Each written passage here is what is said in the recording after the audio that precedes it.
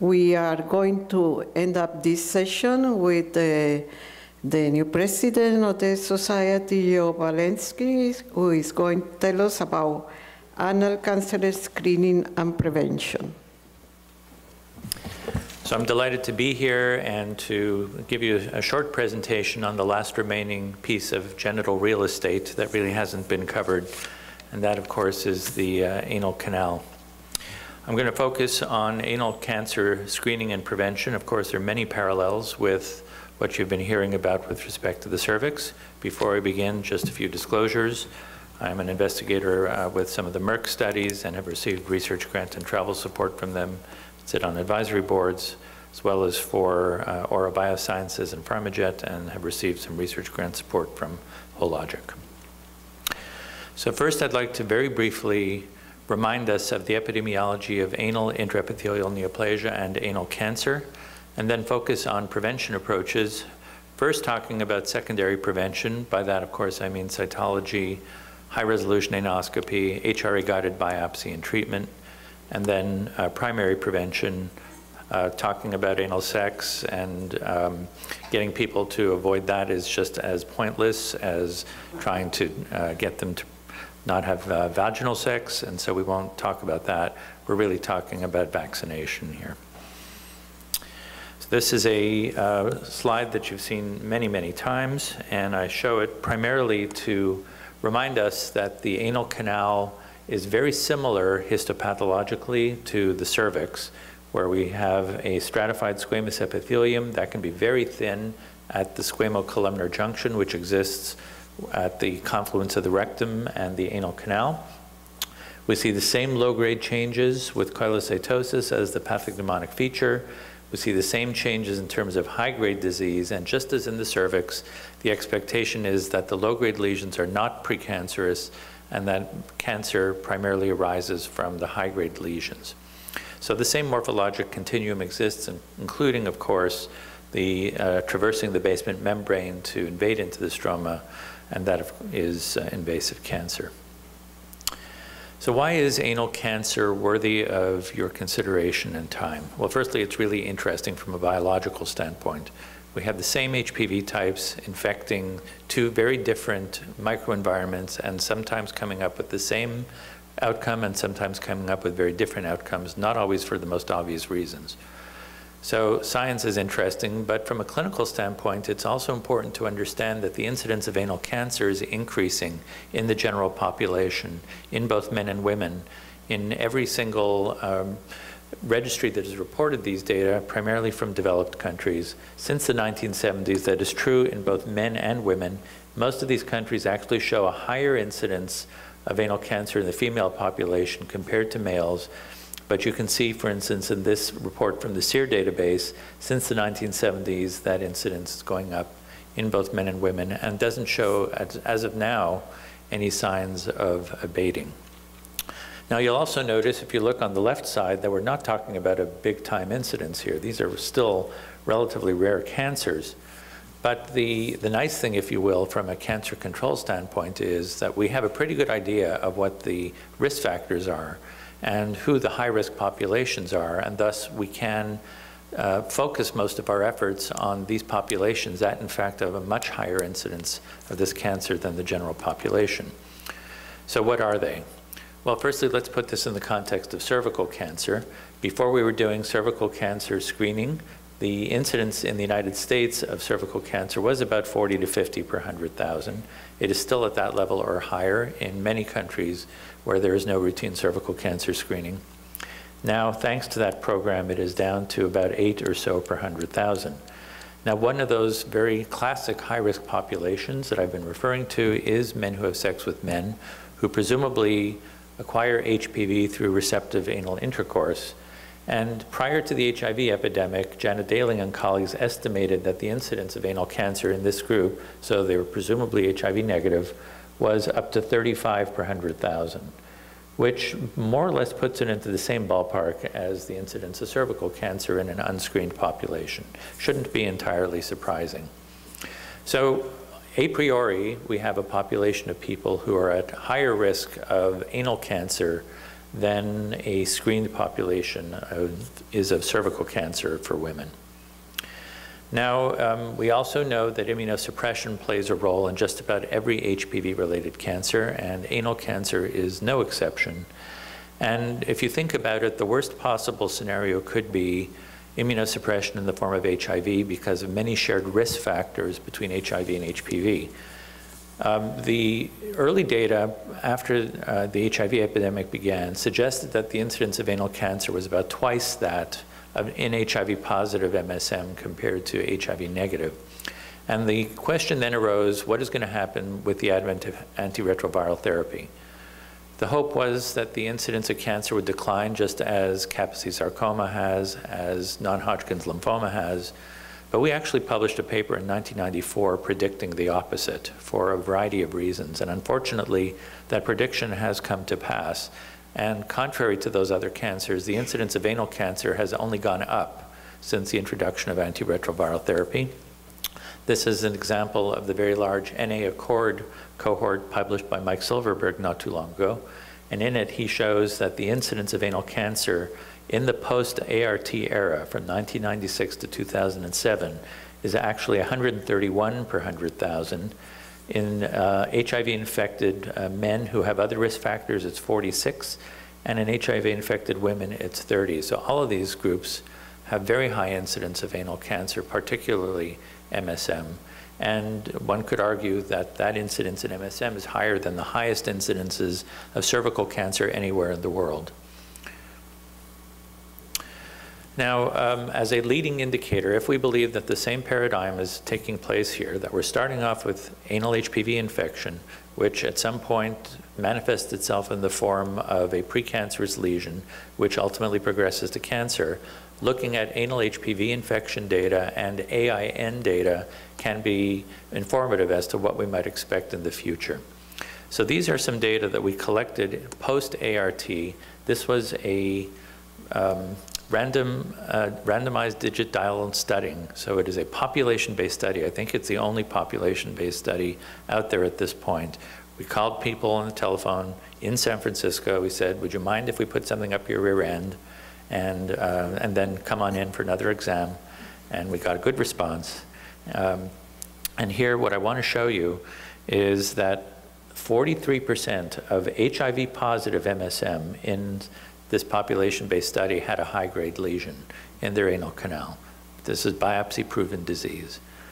Even 25% of the HIV-negative men had a high-grade lesion. So these numbers are enormous compared with what you might expect in the cervix in a healthy population of, of women. What about the women?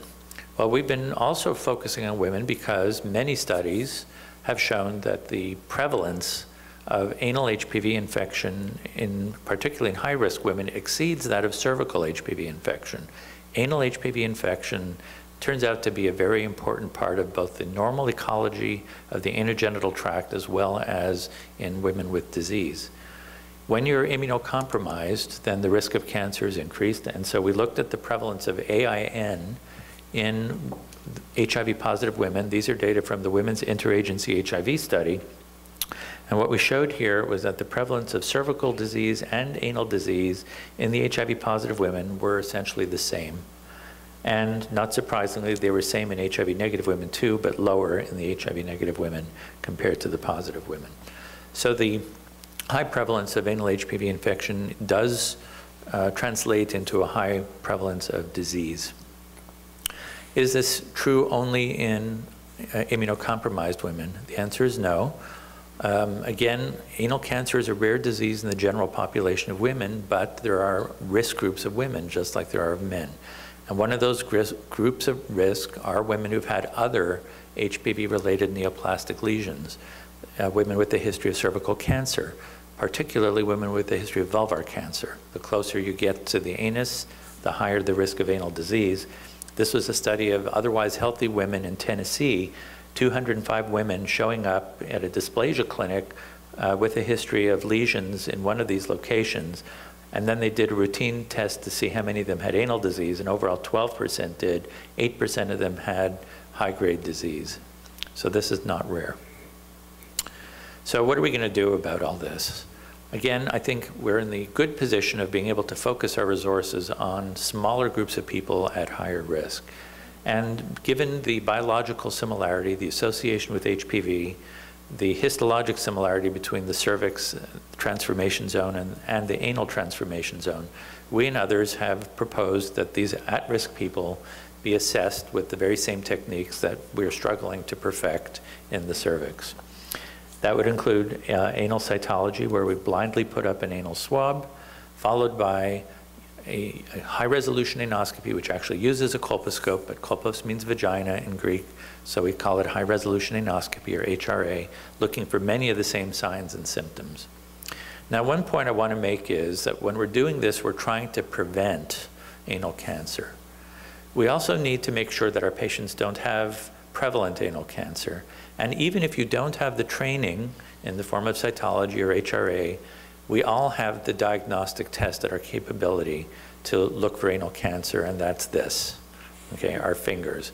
We should be doing a digital, I'm not calling it anymore a digital rectal exam. The literature is replete with that word DRE.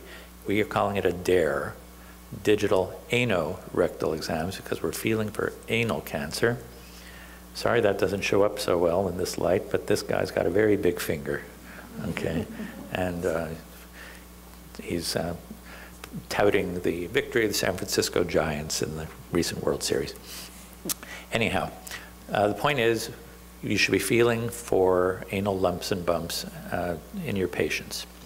But if you have that capability, it is great if you can, using a very similar approach to what we've done in the cervix, difference being that if a patient even has ascus, then they get referred for anoscopy, treated if they have a high-grade lesion, followed if they have a low-grade lesion, cytology repeated with these intervals if that cytology is negative, depending on the HIV status.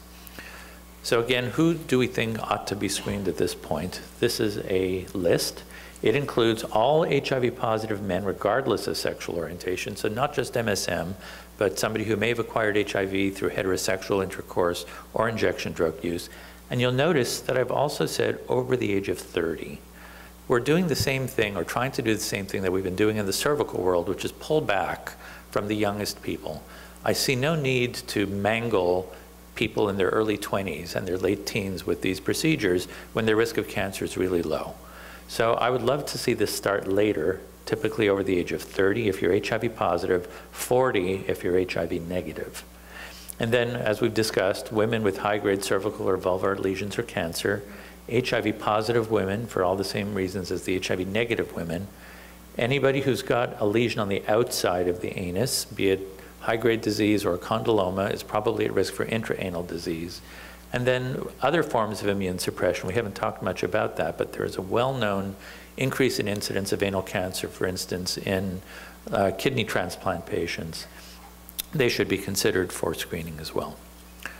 Now, what are we going to do about it? We could talk a lot of, about various treatment options, but the one that we are most excited about is called infrared coagulation, primarily because it is a technique that non-surgeons, such as myself, can learn to do with very good safety in patients. I'm an infectious disease trained doc.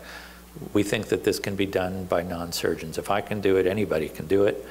And basically, it involves putting this uh, probe in through an anoscope and touching the lesion, pressing the, the, um, the button and delivering heat energy uh, it has about a 70% or so success rate with one treatment. That does go up with repeated treatments, which can be done, but I will not lie to you and tell you it's a total piece of cake.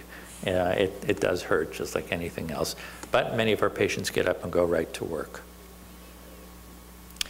The best thing, of course, in the long term is to try and prevent the infection that causes all of this, that's HPV.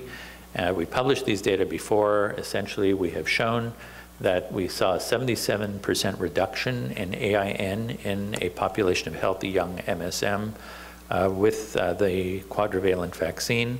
That was in the per protocol efficacy population. Even in the ITT population, which included some previously exposed people, we saw about a 50% reduction of AIN overall, and very excitingly, a statistically significant reduction in high-grade disease. So we think, and based on these data, that the vaccine should be useful to prevent anal cancer, just like it should be useful to prevent cervical cancer. So based on the data from uh, that paper and other data, HPV vaccination has been approved for boys and men. It had already been approved in women for uh, people routinely between the ages of 11 and 21 years in the US, permissively up to the age of 26, routinely if you're immunocompromised, and uh, you can also give the vaccine under the age of 11 as appropriate. And interestingly, it was also approved for the prevention of AIN and anal cancer in women because it's the same disease in men and women, even though we hadn't actually done the study in women. So to summarize, high-grade disease can be sought and treated to reduce the risk of anal cancer. The treatment is feasible, it's challenging, but it's feasible. And one key piece of evidence we don't have yet, but which we're hoping to get, is to prove that the uh, treatment of these lesions actually leads to a reduction in anal cancer. And then finally, the quadrivalent vaccine, I think, is the best long-term approach, and that's uh, to prevent HPV infection and AIN in uh, men who are naive to those HPV types. Just a list of resources available for those of you who are interested. We have an International Anal Neoplasia Society. We have a booth here, a very new and exciting organization that you'll hear more about. There's also a symposium uh, on uh, Wednesday about this. The, um, here's the website. We give courses through the ASCCP. The next one's in April in Atlanta. And here's a website that we've developed at UCSF that gives information both for providers and for patients. Thank you very much.